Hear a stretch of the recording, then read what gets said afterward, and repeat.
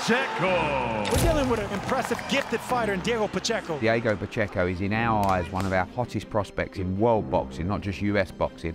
After I get this win, I do feel that people will start recognizing me more as a contender than as a prospect. They're all saying he's a superstar, but if he thinks coming over here and just getting someone who's going to step over, he's got another thing coming. He's a tough fighter, He's, he has a lot of heart. I've been in a lot of tougher fighters than him. He can say whatever he wants. Where is it cheap. He's making a big mistake. He's definitely making a big mistake. I want to knock him out. I want to stop him. Get ready for a fucking war. Hopefully he's working hard, man. I'm coming with everything much 11.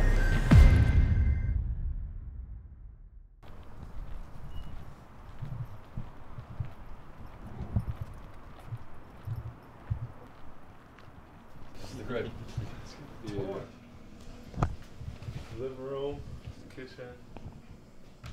We're here in Seattle, Washington. Um, this is where I'm doing my camps now. This is where I'm training out of. I decided to come down here to train with Jose Benavidez Sr. and his whole camp. My, this is my room over here. My brother's. This is my other homie's room. My other brother, basically. And my room. That's the first time you had your own place? Yeah, own place. First time. Made me feel like a grown man. I felt I needed a change to get out of LA. I needed to really be more focused and, and yeah, there's just a lot of bad people in LA, you know. There's people that even though you don't do anything to them, they just want to mess with you or, or they see you doing good and want to like bring you down. So just wanted to get away from that. Do you watch your fights back? Yeah, like at my mom's house, this is playing all day. When I go back home, my little nephew, he gets so annoyed when my mom puts me on the TV. like, not again, grandma, I'll take this off. Every fight is a, is, a, is a very important fight to me. I just think about why I started boxing and why I'm here in the first place, you know, just wanting to give my family a better life, wanting to give my parents the life I feel they deserve. That's really what motivates me every day to, to, to get up and, and, and grind.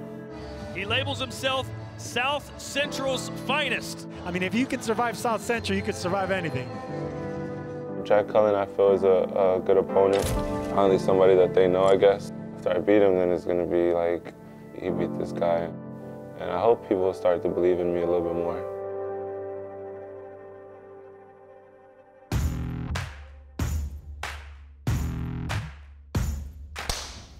Tell us who you're fighting and tell us what's at stake. Don't know if I think you, what's, what's it called? I don't know. Yeah, no, Diego Pacheco, yeah. Jack Cullen, final 11th of March. I'm fighting Diego Pacheco.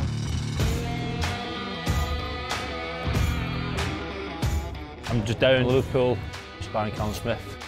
Final 11th of March. Got a good opponent, tall, just like Callum, so yeah, sparring's perfect, you know. Six foot three in it. Obviously the lad who I'm fighting six four. So yeah, tall, rangy, likes the backhand, and that's what we've been training him. Last fight at Manchester last year, Manchester Arena, Conor Benn's undercard. I got a, got a win there, got a comfortable win. And then should have been fighting in December, but I ended up getting COVID, so I pulled out. And, and this has popped up. So, you know, things happen for a reason. The dreams were world title, the dreams were world title for every boxer, but step by step, just keep coming up and get signed up and just keep winning. Talk about like he's a superstar, so listen, get him over here. We'll see how good he is. Diego Pacheco. Diego Pacheco is, in our eyes, one of our hottest prospects in, in world boxing, not just US boxing. End of his right hand. Perfectly timed right. Luna walks right into it. We're dealing with a really, really impressive, gifted fighter in Diego Pacheco.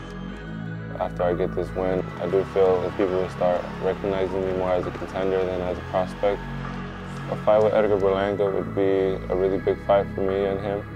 Both are great fighters, you know, I'm a great fighter, he's a great fighter. He has a lot of people behind him, I have people behind me, he's Puerto Rican, I'm Mexican. It makes for a great rivalry and a great fight that people would love to see. I'm getting to that point where I want guys like that and, and really nothing less than that. Last year, um, somebody threw a brick through my mom's window to her house. After that, then I was like, damn, hell no. I can't even go like to Target or like the corner store or shit like that without people like seeing me. I think it's because I'm really tall. I'm easy to notice when I'm in the hood. I've seen a lot of things in the hood that makes you want to get out and you know, be over here. I've been part of David Benavidez' last five fights. Every camp here is really tough. It's, it's good work. You know, it doesn't get better than this. So the first time I ever came down here, David reached out to me on the DMs. David Benavidez. After my uh, Saudi Arabia fight, okay. he's like, "Oh, I was watching that, and um, you're really good and shit. You want to come down and work with me?" I was like, "Hell yeah." That's what's gotten me the great wins, the great knockouts. You know, the preparation I've been doing. Um, that's the reason I'm here, working with them. There's other great sparring partners in here as well, and I'm preparing better than ever for this fight. Sparring, like you said, they don't get better than this, so yeah, I'm super thankful for that. Two more weeks of hard work, and then it's fight week. I'm back to doing what I do.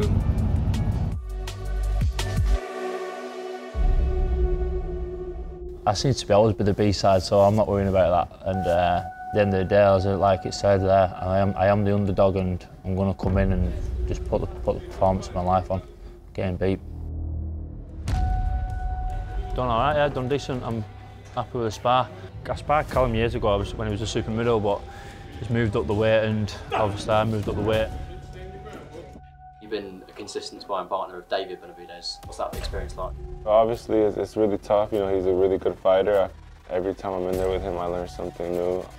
He pushes me more than anyone else, and that's exactly what I need listen, this is my life, you know what I mean? I'm not no person just stepping in and just getting a payday. This is a life-changing fight. Want to beat him, but I'm up at the top. Anything could happen, anything. I think this fight's really important. It's really important that I put on a great performance. I don't think I've been in a boring fight yet, so yeah, it's definitely been an exciting one. I want to knock him out. I want to stop him.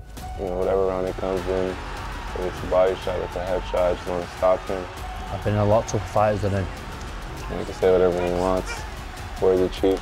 He's making a big mistake. He's definitely making a big mistake. I'm coming with everything, watch 11. Get ready for a fucking war.